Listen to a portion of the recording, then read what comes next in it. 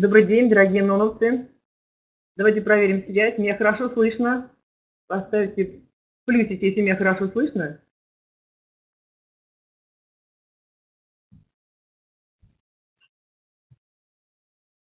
Да, добрый вечер. Спасибо. Спасибо. Здорово. И хотя я не вижу лиц, но читая имена и фамилии, и моя память дорисовывает образы, которые стали мне близки за время моей жизни с командой компании Торквинона. Какой силой все-таки обладает наше воображение. Спасибо, замечательно. Я представлюсь. Меня зовут Людмила Новикова. Мне 58 лет. А надо добавить звук. Звук добавить. Вернее, видео добавить.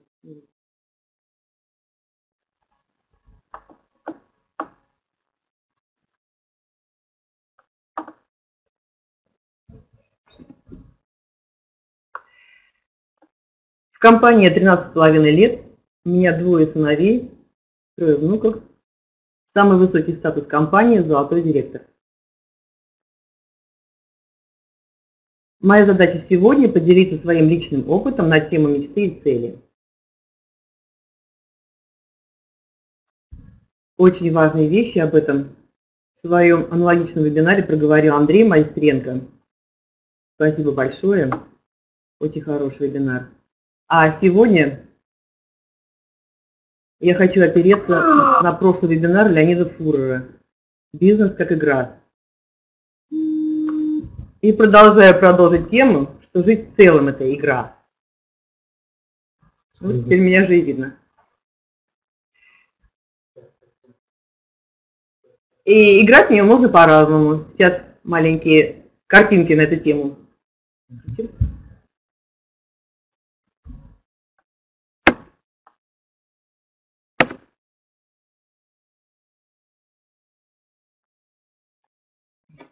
Сейчас будет. Это тема вебинара «Стиль цели». Играть можно на пыльном поле,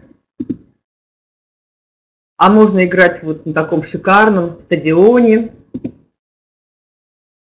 Можно быть просто болельщиком игры, а можно быть игроком. Можно романтические свидания делать вот так – а можно вот так, или вот так. То есть каждый для себя выбирает, как ему подходит.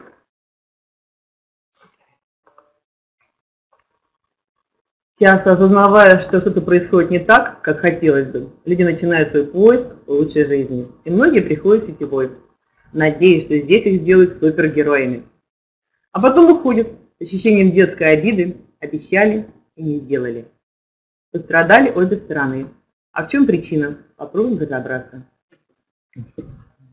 Сейчас я хочу показать схему, которая наглядно покажет, как я себе представляю путь от мечты к цели. Эту схему я сделала сама.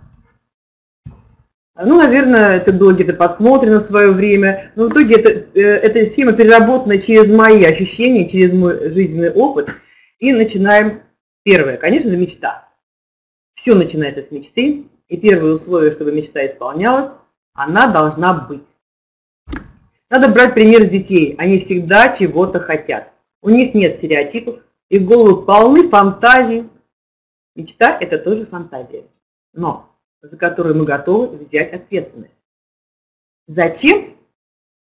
Это ответ на вопрос, который составляет 90% успеха. А ответ на вопрос «как» остается 10%. И надо понимать, что любая мечта приходит силами на ее исполнение. Надо только помнить, что мечты должны быть позитивными.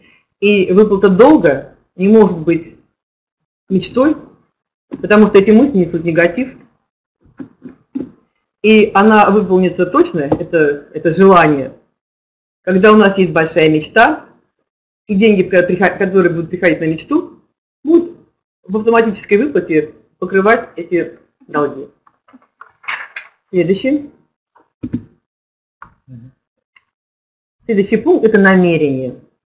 Ну, представим себе, что у нас масса наших фантазий, какие-то чужие, тут же появляются чужие ограничивающие мысли, страхи. Это примерно как а, мы стоим под фонарем, и летает много мошек, и чем больше мы стоим под этим освещенным, на этом освещенном месте, эти мошки могут просто даже глаза нам забивать.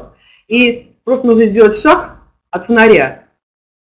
Мы уйдем от этого состояния воздействия этих мошек, и появится внутреннее видение. Этот вот как раз шаг и называется намерение. Намерение – это решение плюс результат плюс действие. Переносит нас, э, именно это переносит нас из мира иллюзий в мир действий. Намерение – это проявление воли. Намерение сразу выставляет вектор в сторону конечного результата. Следующий пункт. Как только мы сделали этот шаг э, и э, показали намерение всему миру, то у нас появляется уже не размытая мечта, а четкое представление ясное видение цели.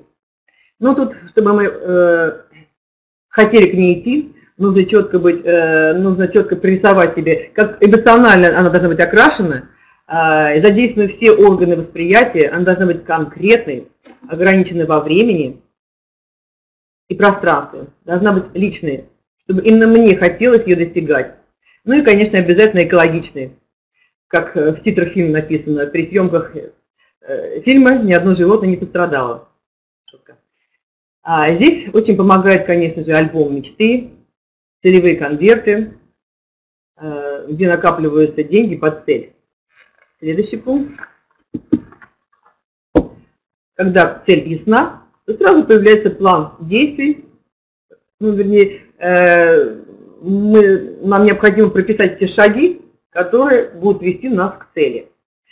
Сколько времени, когда, какие действия, какая последовательность, какие люди нам в этом будут помогать, место, где это будет происходить, сколько на это потребуется, какие-то, может быть, финансов. Прописать и повесить перед собой. А, ну, в данном случае, если мы говорим о компании доктор Нонен, сетевой, в которой мы работаем, ну, планом являются наши постоянные кружочки. Я когда начинала работать, кружочки, у меня кружочками была вся квартира завалена, и это напоминает, я все время думаю, вот похоже на Чапаева, который все время с картошкой работает. Далее. Далее идут ресурсы. Ресурсы – это наши знания, наши какие-то материальные ресурсы, информационные технологии, человеческие ресурсы, наш прошлый опыт. Я хочу сказать, что компания Доктор Нона – это тоже ресурс, колоссальный ресурс. Но чтобы такой образ сложить, это нефтяная скважина у себя на, на огороде. Ну, многие могут сказать, ну, конечно, если бы у меня на огороде была нефтяная скважина, я бы, он какие деньги зарабатывал, просто бы золотился. Но опыт даже других стран показывает, что не все так просто. Я сейчас просто приведу пример а, такой страны, как Эмираты. В 1958 году там обнаружили эту, а, это, вернее, обнаружили нефть, и деньги, которые получались даже от этой нефти, они в буквальном смысле были съедены мышами. И только когда э, к власти пришел очень просветленный человек, шейх Заяд, только на, тогда началось процветание этой страны. Э, и э, еще интересный такой факт, я услышала, что э, он человек, который очень э, умел мечтать. И э, даже когда еще страна была очень бедна, когда страна была еще очень бедна, и, в общем-то, люди э, питались только одними финиками, а рис считался лекарством, он уже тогда на стенах своей резиденции крутил фильм, который у него был всего один единственный фильм о Лондоне. И тем самым он менял сознание людей, людей он показывал как можно жить, как можно есть, как можно спать, как можно вообще э, реализовывать свои э, мечты. И, как у нас говорят, создавал командное видео, э, видение. Дальше следующее.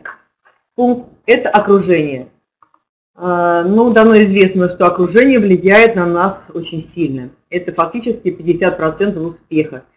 Люди, которые нас поддерживают, э, люди, которые мечтают, очень важно, чтобы это происходило с нами, чтобы мы окружали себя именно такими людьми, которые нас поддерживают, э, которые тоже мечтают. Э, это не только люди здесь, это еще и то, куда мы ходим, это магазины, салоны, автосалоны, рестораны, посещая которые у нас появляются новые желания. И, кстати говоря, если говорить о нашей компании, то наша компания в своем арсенале человеческом имеет столько людей успешных, которые э, умеют мечтать, достигать цели. И когда я впервые попала на одно из таких мероприятий, я поняла, что Моя жизнь только началась, когда я увидела этих людей. И дальше, конечно же, надо делать какие-то действия. Не просто какие-то, а конкретные, которые мы прописали. И здесь важна дисциплина, четкая дисциплина, неукоснительная. А, если мы э, знаем, какую цель нам идти, то я в свое время, чтобы для меня это был новый навык компании, и я э, просто приучала себя делать каждый день одни и те же действия. Во-первых, вовремя вставать ну, достаточно рано. Э, после этого э, обязательно делать э, все процедуры, которые дает нам компания. Это обязательно солевая ванна. И у меня четко было по времени прописано, прям просто по минутам.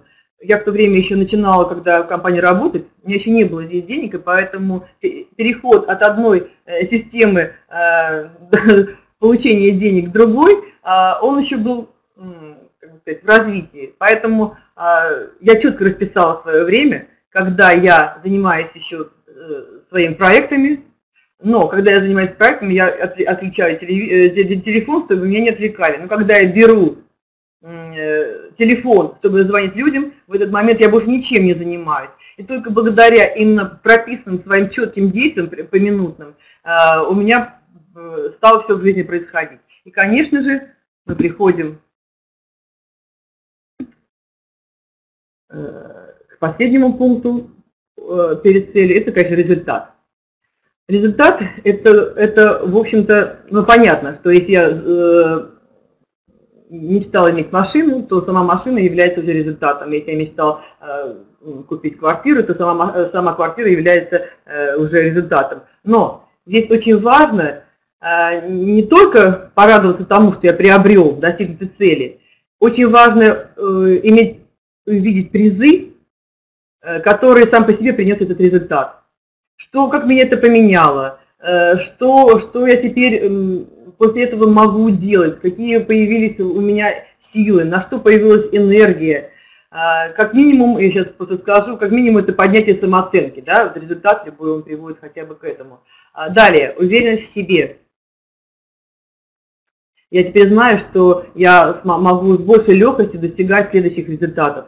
Конечно же, признание. И этого в нашей компании дают просто в огромных количествах. И далее стимул для дальнейших свершений. А я сейчас оставлю эту схему на экране. И сейчас мне хочется поговорить, поговорить, я не буду обо всех пунктах э, говорить, потому что ну, мы много говорим о цели, о планах, о действиях. А, мне сейчас хочется а, отметить именно три аспекта, которые очень важны, на мой взгляд, именно Э, на, моей, на теме. Начну с понятия намерения. Ну, мне удобно подавать э, информацию в виде истории, и я очень так образно мыслящий человек. Я сейчас расскажу историю из моей жизни. Однажды у меня, э, у меня была ситуация, когда я оказалась перед выбором. Мы большим рабочим коллективом после уборки урожая оказались на реке. Река была сильным течением, и все были в воде. Я почему-то не плавала, стояла на берегу, у меня даже не было купальника. И вдруг я услышала крик. Услышала крик и увидела, что одну девушку стремительно уносит по течению э, к середине реки. Я знала, что она не умеет плавать. Я поняла, что люди этого не видят. Более того, когда она начала кричать, то люди просто испугались и ринулись на берег. И вот во мне сразу возникло два чувства. Одно очень сильное желание броситься на помощь, и другое, конечно же, страх. У меня тогда был маленький ребенок, муж в армии, родители жили в Магадане.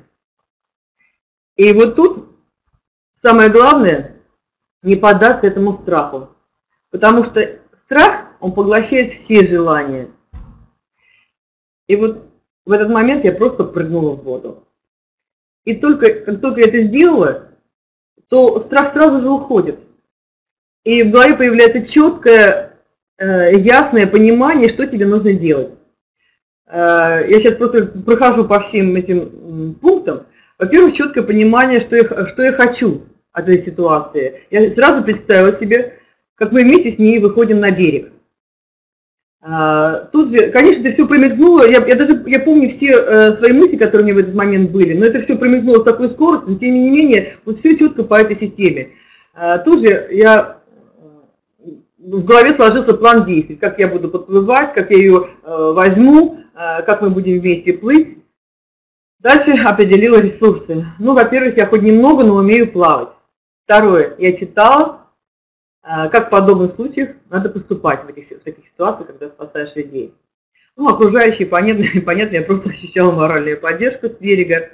И вот действия. Если говорить о действиях, то здесь еще очень важно, когда я рассказываю о действиях, я говорю о дисциплине, а, но что очень важно, чтобы эти действия происходили с легкостью, чтобы мы сами от самих действий получали удовольствие. Если мы говорим, что вообще жизнь в целом игра, то даже вот таких ситуаций, казалось бы, такая ну, ну, неприятная ситуация, более э, сказать, она даже такая тяжелая ситуация. И вот я поняла, что чтобы э, все завершилось замечательно, мне надо быть мне включиться нужно в игру. И первое, что я сделала, когда я плыла к ней, я начала улыбаться, разговаривать с ней, э, даже где-то шутить.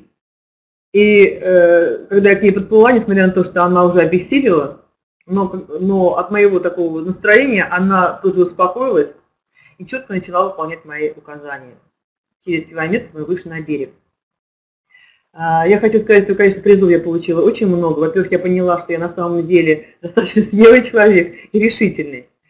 А, э, но в этой своей истории я хотела рассказать о том, как работает наше намерение. А, э, намерение – это когда есть сильное желание, но пока сомнения и страхи, вернее, когда мы начинаем долго об этом рассуждать, а, мы э, даже начинаем что-то даже прописывать, писать какие-то планы, цели, визуализации, просто пишем и ничего не делаем, не делаем этого первого самого главного шага, то когда мы начинаем писать, у нас точно появляются э, э, сомнения в том плане, а смотри, а здесь вот, а если я сделаю этот шаг, смотри, тут не получится, так, так не получится. Поэтому вот этот момент намерения, он, чтобы вырвать нас сразу из состояния мечты, состояния действия, цели, он самый главный. И, кстати говоря, страх в таких ситуациях, хочу еще сказать э, такой момент интересный, страх в эти моменты играет как раз на нас. А, он, э, если понимать, как работают э, наши эмоции, то а, во время страха происходит сильный, сильнейший стресс. И выделяется такое количество адреналина, происходит сильнейший электрический разряд, и в эти моменты образуются новые нейронные связи в нашей голове. И тогда мы уже становимся совершенно другими людьми, а, мы становимся более адаптивны к следующим нашим действиям, и наша жизнь начинает меняться. Поэтому нет смысла бояться таких ситуаций. А на уровне консультантов это первый звонок по списку знакомых, первый выход на сцену. И можно много привести на эту тему примеров. А история компании, когда люди делали свой первый шаг в неизвестность, их очень много, и я даже не буду перечислять, как много людей рассказывали о том, как они хотели открыть какую-то страну и просто выезжали туда, а просто делали этот шаг, чтобы э, нельзя было вернуться обратно и начинали действовать. Я не буду говорить о лидерах, которых я знаю в компании, я просто я, я восхищаюсь им, я просто скажу немножко о своих спонсорах. Но первый мой спонсор, который проявил вот это намерение, это Наташа Фионова, мой непосредственный спонсор, кто пригласил меня в компанию. Первое, что она сделала, а, у нее не было денег на первую закупку, и она сдала свою квартиру, переехала жить к маме на какое-то время, чтобы сделать закупку, а на сегодняшний день у нее уже более пяти квартир. А, это Лена Каменная, которая тоже сделала шаг, которая сделала шаг навстречу неизвестности. Она из другой стороны переехала в Россию, в частности в Волгоград. Она приехала только с одним э, чемоданом с продукцией и э, самое главное с книгами. Мне это больше всего потрясло. И, в общем-то, тоже не знаю, как ее здесь встретят люди. И я помню, когда мы с ней разговаривали, наш разговор э, о том, что, я говорю, ты знаешь, Лена, у тебя ведь ничего не получится, потому что э, у нас только что прошли э, компании пирамиды, и люди напуганные, люди, люди не, не знают, куда им идти, они никому не верят, и Лена мне сказала, а у меня четкое намерение, у меня четкая мечта и цель, поэтому этот город – Э, будет нашим, будет нонским. так все и произошло. Теперь у нее большая команда в городе Волгограде, и не только в городе Волгограде, уже в других э, городах, в частности, она сейчас работает э, в Иркутске. А, также такую же активность в свое время проявила мой партнер Таня Манискова, которая точно так же закупила на все свои деньги продукцию, денег у нее не было вообще, она выезжает на Кипр, и э, в надежде, что она договорилась, что там у нее сразу же покупают, и она начинает раскручивать. Не то, что было. А человек, который сказал, что все тоже покупаю, делаю большие закупки, он испугался и отошел в сторону. И знаете, она могла, конечно, прозвонить своим знакомым, друзьям, друзья, высылайте деньги, все, ничего не получилось, я уезжаю. Но а, поразмыслив, конечно, побывав в состоянии некоторого стресса, она принимает другое решение. Она просто говорит этой женщине, которая отказалась, давай сделаем так, ты приглашаешь людей, и я начинаю давать им презентацию. Ну, на сегодняшний день мы знаем, что у Татьяны э, хорошая организация и на Кипре, и теперь нее уже э, организации и в других городах, э, и, и регионах, это успешный лидер.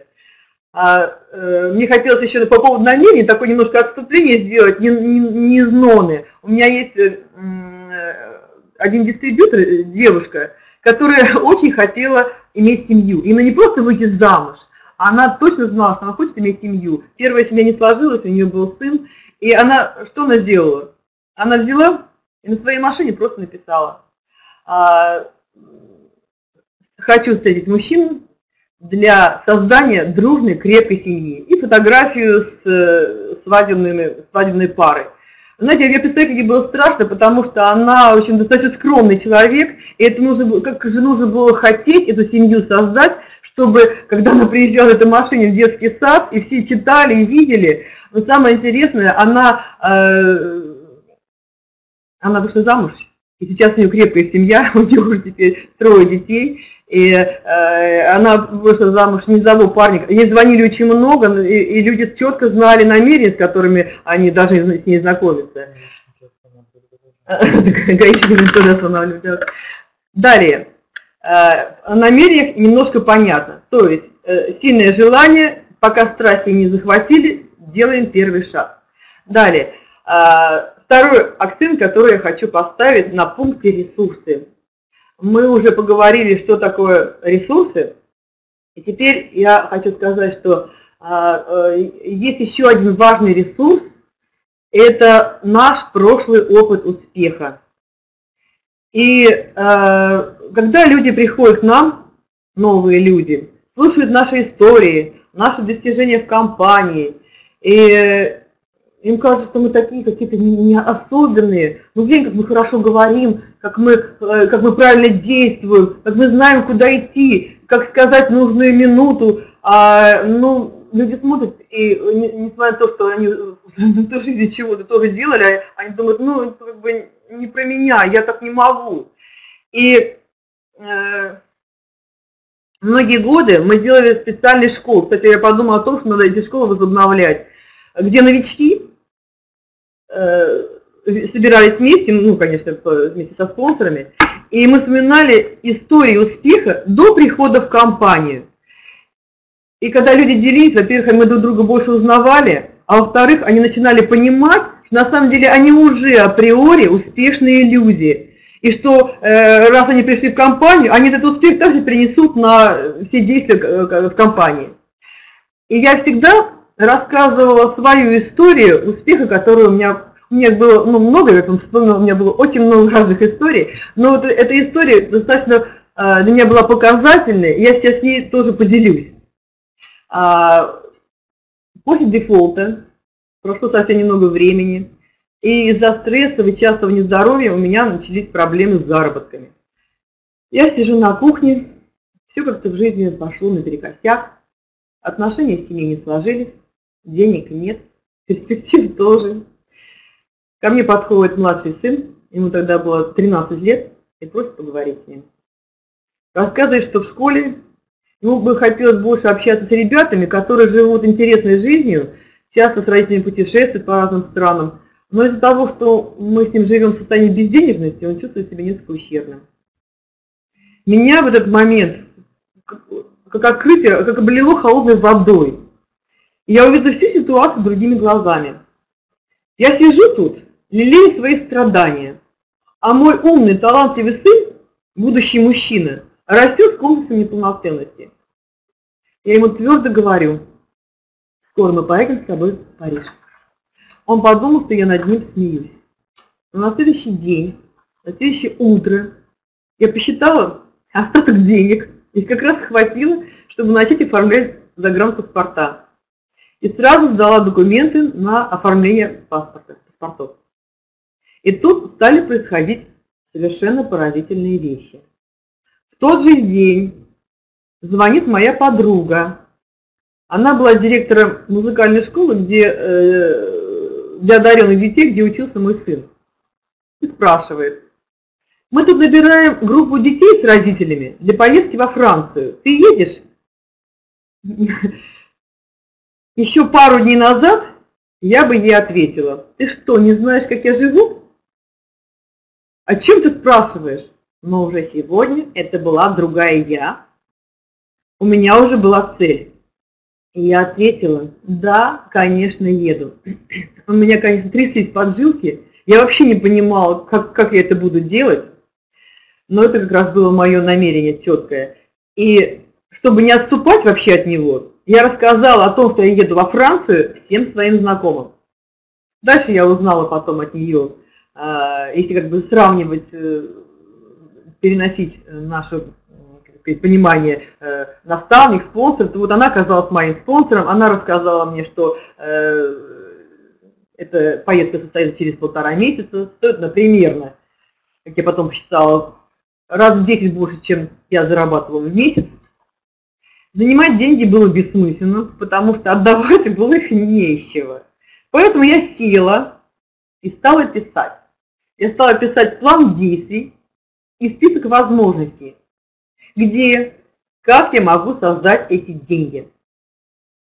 Этих возможностей оказалось очень много. Просто я раньше не видела, пока у меня не включились и пока ну, не, не был этот э, дикий стресс. Я, я увидела, что оказывается у меня есть мои художественные а, авторские работы, которые я раньше не продавала, потому что стеснялась, хотя друзья меня просили, чтобы я их продала им. Я тоже позвонила всем, назначала цены, и они, они с радостью мне их покупали. Это мои такие первые э, ну, продажи начались после этого.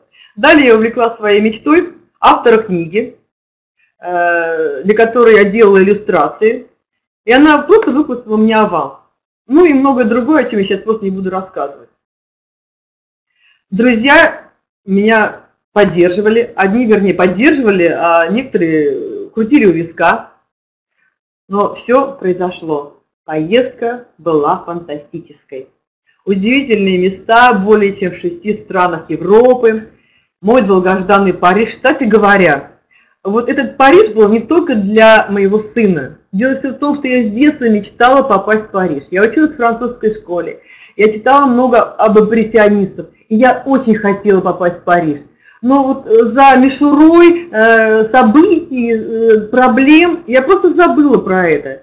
И вот таким толчком оказалось именно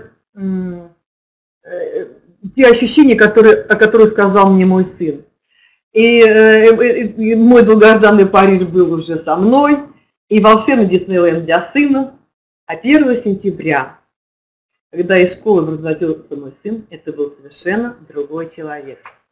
На сегодняшний день я счастлива видеть своего сына состоятельным, успешным, развивающимся, с большими планами на будущее, с творческим подходом ко всему. И сегодня, кстати, я благодарна Михаилу за помощь в проведении вебинара, не только как мама, но и как бизнес-партнер. Так вот, когда я пришла уже в компанию, в своих действиях я опиралась именно на эти ресурсы своих прошлых успехов. А моей большой ценностью всегда была семья. И в компанию я изначально пришла, чтобы поднять маму. У нее был паралич с нарушением сознания.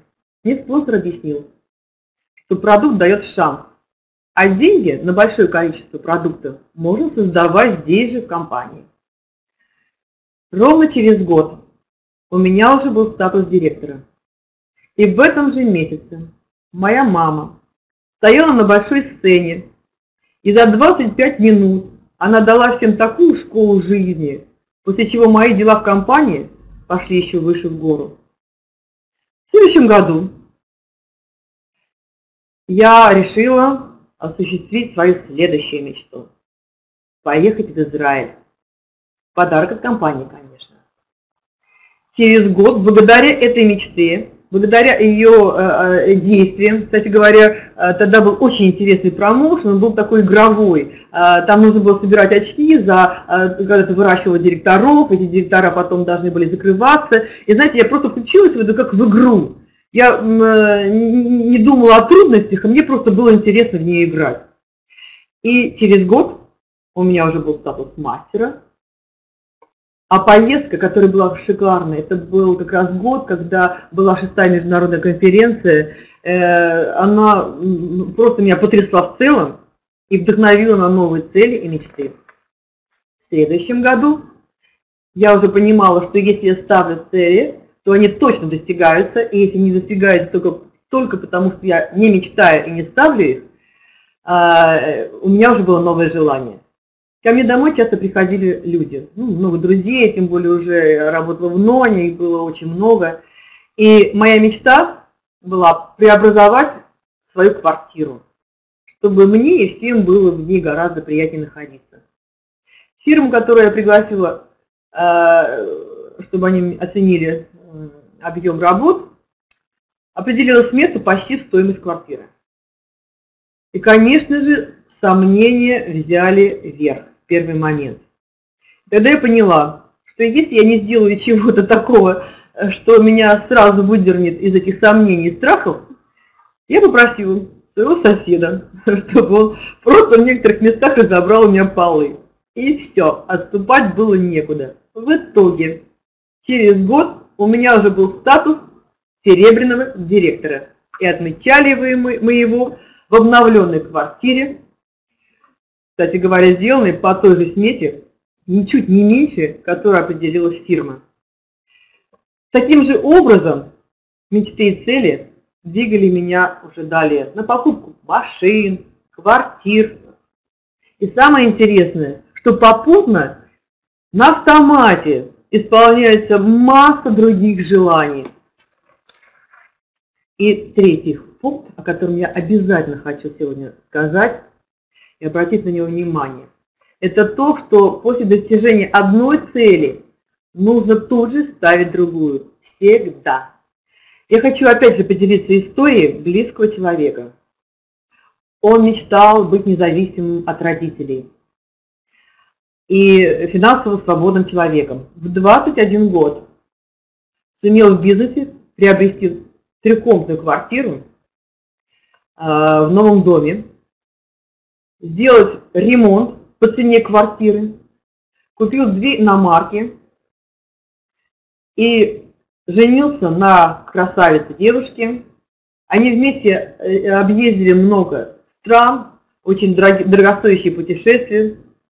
Через год у них родился сын, и все, мечты как бы закончились.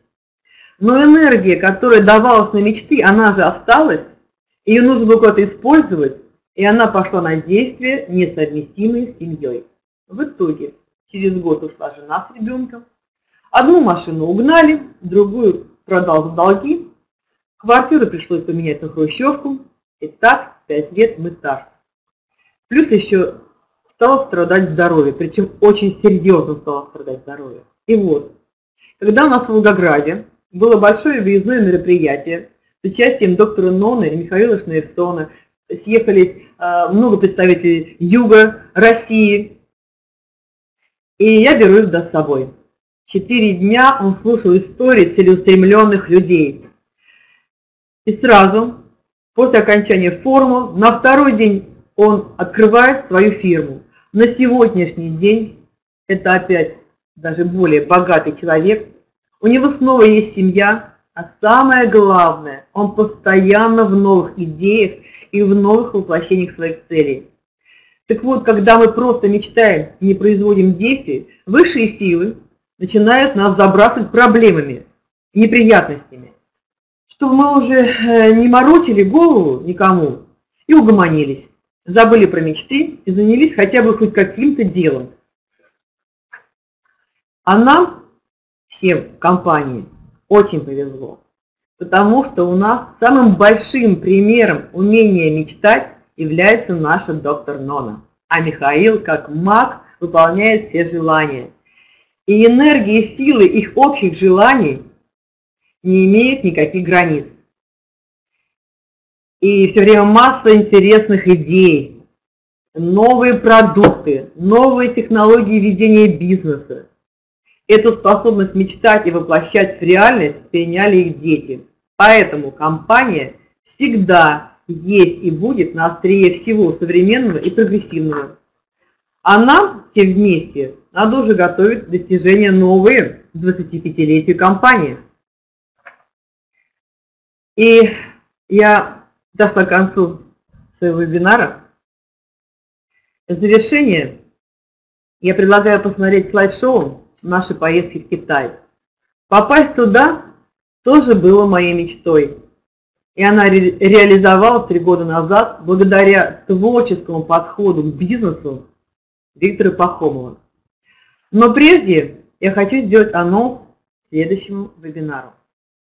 Его будет вести необыкновенная женщина, Человек с уникальной харизмой, с высочайшей способностью мечтать и достигать цели, и среди ее достижений статус президент-директора компании «Доктор Нона» – это лидер высочайшего уровня Клара Ларионова.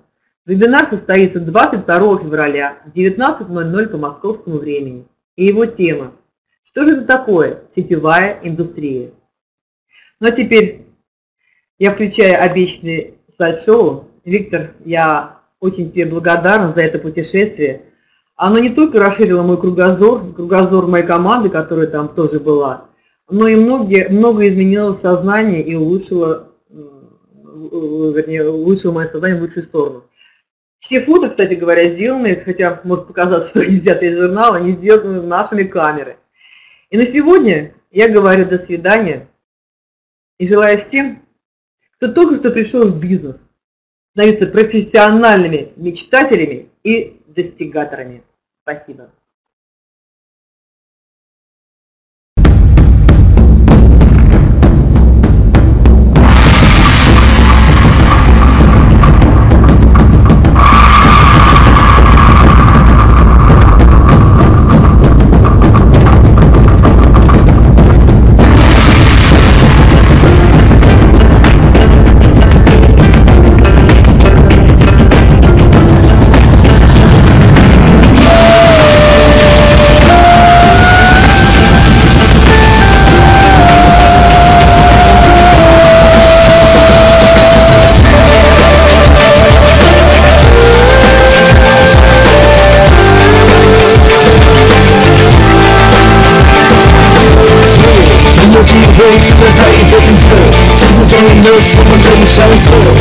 sempre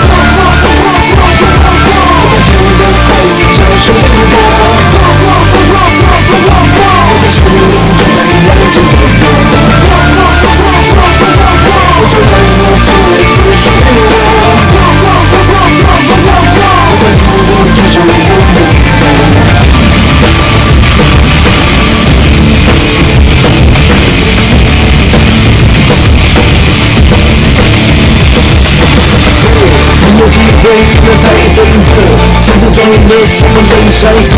看在谁的眼里糊涂，这份歌我不想糊涂。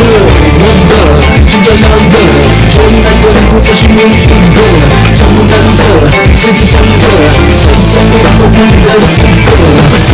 在你思念要化去，请假定情。